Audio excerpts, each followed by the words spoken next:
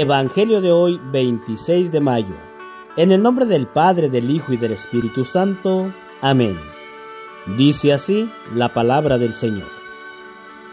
Cuando terminaron de comer, Jesús dijo a Simón Pedro, Simón, hijo de Juan, ¿me amas más que estos? Contestó, Sí, Señor, tú sabes que te quiero. Jesús le dijo, Apacienta mis corderos. Le preguntó por segunda vez, Simón, hijo de Juan, ¿me amas? Pedro volvió a contestar, Sí, Señor, tú sabes que te quiero. Jesús le dijo, Cuida mis ovejas. Insistió por tercera vez, Simón Pedro, hijo de Juan, ¿me quieres? Pedro se puso triste al ver que Jesús le preguntaba por tercera vez si lo quería y le contestó, Señor, tú lo sabes todo tú sabes que te quiero.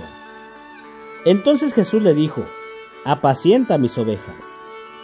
En verdad, cuando eras joven, tú mismo te ponías el cinturón e ibas a donde querías.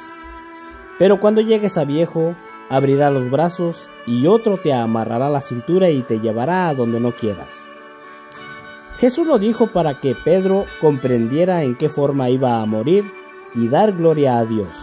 Y añadió, sígueme. Palabra del Señor. Gloria a ti, Señor Jesús. En el nombre del Padre, del Hijo y del Espíritu Santo. Amén.